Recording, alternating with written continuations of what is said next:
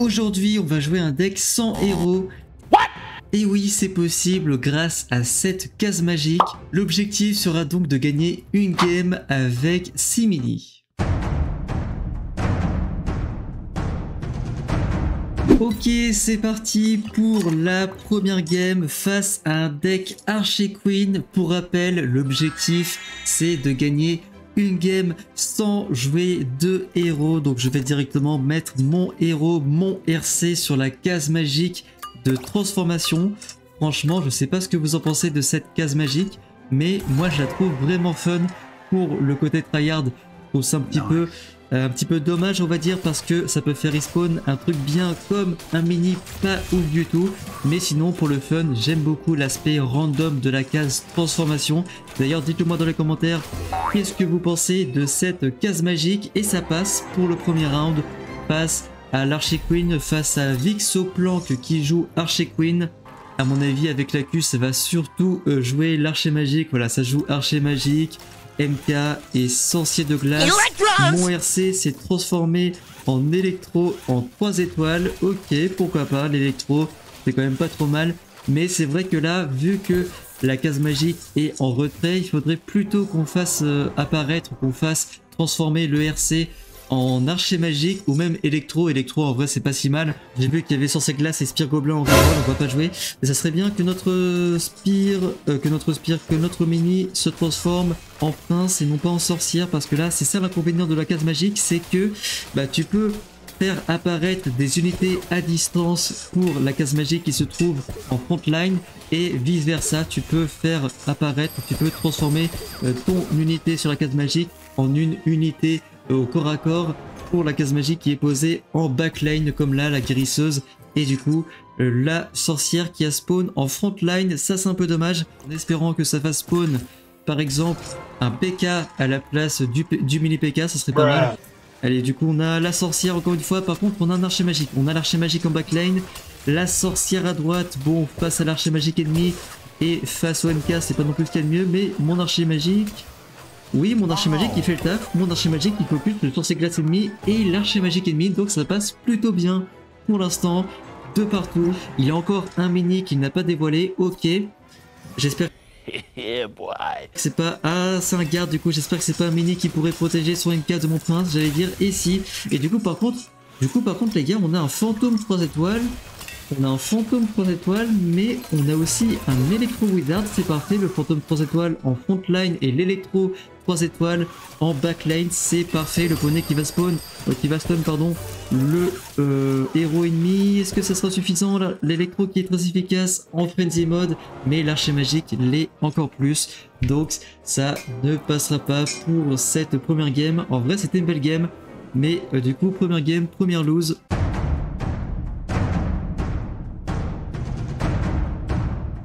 Ok, c'est parti pour la deuxième game. On est face à un grand gardien, ok. Et donc le RC qui va faire apparaître du coup un archer magique grâce à la case magique, ok.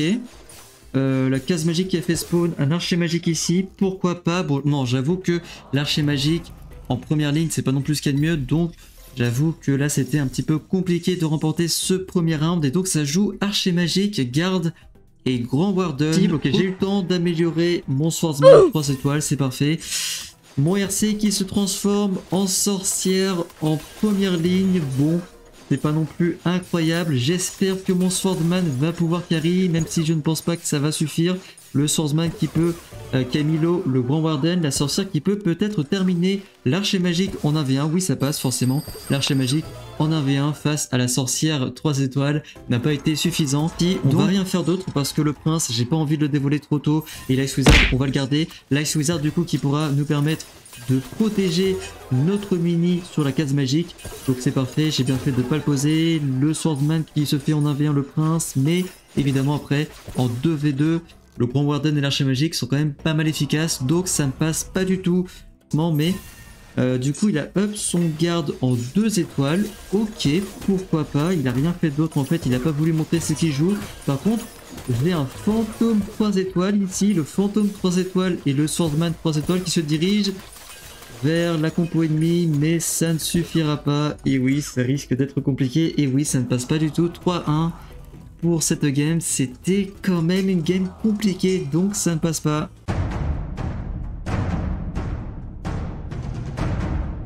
Ok, cette fois-ci, on est face à une comtesse. Alors là, ce qui serait parfait, ce qui serait vraiment incroyable, ce serait que mon RC se transforme en PK 3 étoiles. Bon, c'est un petit peu trop demandé. Je sais pas il y a combien de mini qui coûtent 4 étoiles. Là, en tête, je pourrais pas tous les énumérer. Mais je pense qu'il doit y avoir une chance sur 8 pour que ce soit un PK qui spawn à la place du RC. Ça serait vraiment incroyable. Et du coup, c'est un prince. Le prince par contre qui risque de se faire backstab, non même pas, qui a pas le temps, le, prince qui a vraiment pas le temps, le prince incroyable, le prince il a détruit l'électro wizard, parfait, le prince il a tout shot l'électro wizard, donc la comtesse n'a pas pu récupérer du stun et donc backstab mon euh, petit prince 3 étoiles ici, c'est parfait. Euh, qui apparaissent à la place de mon RC, c'est un prince encore une fois qui spawn à la place de mon RC, pourquoi pas le super de mon Swordsman qui a failli détruire le euh, héros ennemi. Et finalement, ça passe le, Swordsman qui a pu euh, faire un petit turn et détruire la comtesse ennemie. Il me dit good game. Franchement, pour l'instant, les gars, ça s'annonce être un 3-0. Ça s'annonce être une belle game. Mais du coup, je me pose une question. Je sais pas si, imaginons que je pose le prince, est-ce que par exemple, mon RC pourra se transformer en prince et je pourrais jouer deux princes? Je pense pas, mais euh, je me demande quand même. Je suis pas sûr. À mon avis, non. Mais voilà, on sait jamais. Je sais pas si on peut jouer deux fois le même mini du coup. Je pense pas, sincèrement. Mais euh, ça serait quand même marrant d'avoir par exemple deux princes, deux voleuses pour full dash. Ça serait marrant, c'est aussi d'avoir deux voleuses 3 étoiles qui full dash dans tous les sens. Donc ça sera up vite fait le sorcier de glace et le spire, ça joue MK, ça joue aussi Ice Wizard, mais il a joué à gauche, c'est parfait pour nous. Le Swordsman qui va peut-être pouvoir enchaîner, non, il a pas réussi à prendre le kill à droite malheureusement. Par contre, on a un archer magique on a aussi un archer magique, j'ai pas fait gaffe, et oui, on a l'archer magique 3 étoiles, la voleuse aussi, euh, la comtesse qui va backstab mon archer magique, et donc ça ne passera pas du tout pour ce round. De on va voir un petit peu ce qu'on va avoir. Le RC qui va donc se transformer en... Hey, that's pretty good. En électro, et j'ai aussi un petit Mega Knight, c'est pas trop mal, en vrai c'est vraiment, vraiment même euh, excellent, puisque le Swordsman va pouvoir très très bien enchaîner avec le stun de l'électro et de Moenka qui temporise très très bien. Et le Swordsman qui va enchaîner son super parfait. Il, va cibler maintenant l'électro et après ce sera donc la comtesse. Et donc ça passe. Quel game Franchement, euh, ça passe, c'est pas fini, mais... Euh, non, ça passe, nickel. Ok, c'est bon. Ça passe, ok. Le challenge, le challenge est réussi, 3-2 face à la comtesse, franchement incroyable, je sais pas ce que vous en avez pensé de ce challenge, moi j'ai plutôt bien aimé, et donc voilà, on a quand même fait euh, deux petites victoires grâce, enfin avec ce challenge, en plus j'ai monté de trophées, donc franchement incroyable, j'ai juste fait deux games euh, où il n'y avait pas de cases magiques, sinon il y avait que des cases magiques. J'ai dû faire 5 games du coup euh, en tout, plus ou moins, j'ai pas trop compté. Bref, du coup, j'espère vraiment que ce challenge vous a plu. Si c'est le cas, n'oubliez pas évidemment de mettre un petit pouce bleu comme le dit et aussi à vous abonner. Ce serait vraiment euh, très très sympa de votre part et donc voilà j'espère vraiment que ça vous a plu et moi je vous donne rendez-vous tout simplement pour un prochain live ou une prochaine vidéo.